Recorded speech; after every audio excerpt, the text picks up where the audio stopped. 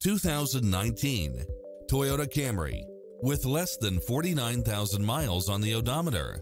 This sedan combines safety and comfort with style and performance.